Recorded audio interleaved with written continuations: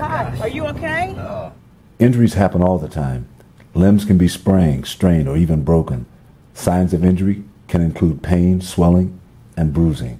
I fell. Oh, okay, I'm Sarah. I'm gonna move this out the way so I won't fall. If you see someone with an injury, first make sure that the scene is safe so that you do not get hurt.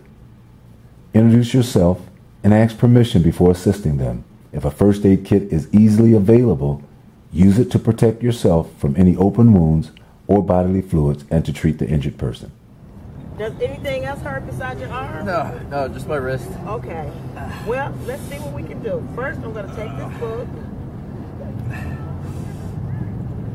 I need your help right here, Dustin. Okay. I'm gonna make you a splint right now, okay? Okay. You remember the splints from first aid? For an injured limb, limit movement as much as possible. The patient can splint their own arm, and you can use everyday objects to create a splint and even a sling to help limit the movement of the injured arm or leg. Elevation in ice can help reduce pain and limit swelling. If the patient has severe pain or serious injuries, call 911. Do not move them and stay with them until help arrives. Get the book on. Okay. Now, I just happen to have some ties in my in my daughter's hair this morning. Okay. Okay. How we doing? All right. What's your name? Uh, Dustin. All right, Dustin, we can do this. Okay. Okay. I think one more should do it. Okay, how does that feel? A little better. Okay.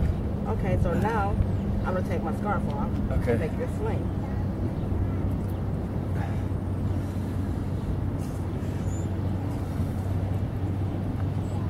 Okay. Wow, who would ever think?